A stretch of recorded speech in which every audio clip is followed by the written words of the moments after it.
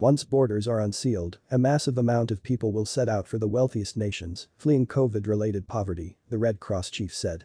Migrants will also be driven by the search for a working vaccine.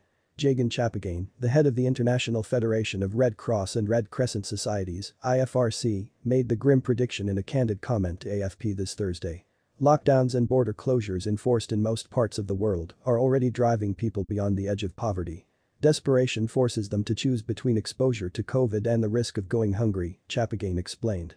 What we hear is that many people who are losing livelihoods once the borders start opening will feel compelled to move. It should not be a surprise if a massive impact on migration occurs in the years or even months to come. However, the potential migration crisis could be averted or eased if these grievances are tackled before migrants leave their home countries, the IFRC chief said, offering one bold economic argument to back up his point the cost of supporting the migrants during the transit and of course when they reach the country of destination is much more than supporting people in their livelihoods, education, health needs in their own country, he said. European leaders made similar arguments in the wake of the major migrant influx that hit the continent in 2015 and 2016. Germany, the prime destination for asylum seekers, pledged millions for reconstruction programs across the Middle East and North Africa.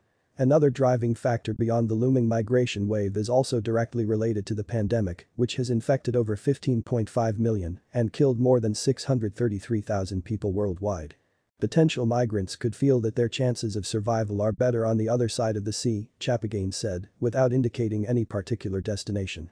People will base their decision to move on the availability of COVID-19 vaccines. If people see that the vaccine is say, for example, available in Europe but not in Africa, what happens? He also took a swipe at countries expected to keep reserves of promising vaccines for themselves first. Quote. The virus crosses the border, so it is pretty short-sighted to think that I vaccinate my people, but leave everybody else without vaccination, and we will still be safe. Don't forget to subscribe to the channel, like and share this video. Be well and until next time.